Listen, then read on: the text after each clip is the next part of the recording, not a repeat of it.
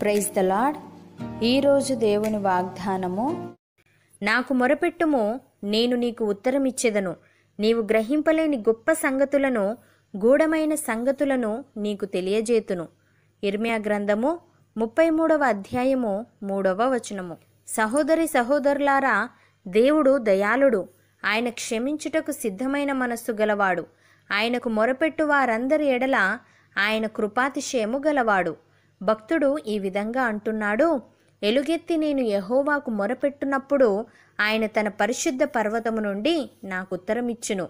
యహోవా నాకు ఆధారము. కావున నేను పండుకొని నిద్రపోయి మేలుకొందును. పదివేల మంది దండెత్తి నా మీదికి వచ్చి మోహరించినను నేను భయపడను.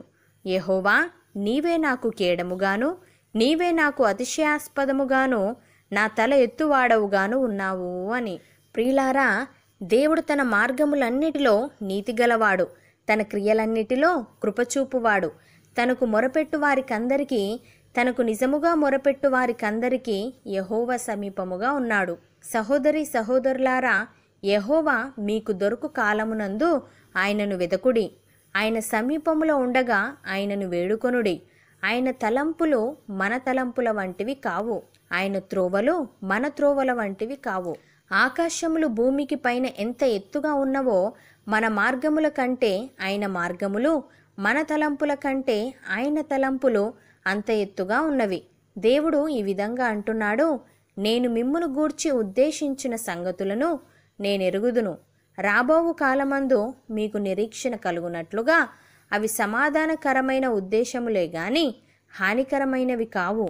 మీరు నాకు మొరపెట్టుదురేని మీరు నాకు ప్రార్థన చేయుచు వత్తురేని నేను మీ మనవి ఆలకింతును అని. ప్రియులారా దేవునికి భయపడకయు మనుష్యులను లక్ష్యపెట్టకయు నుండు ఒక న్యాయాధిపతి ఒక పట్టణములో ఉండెను.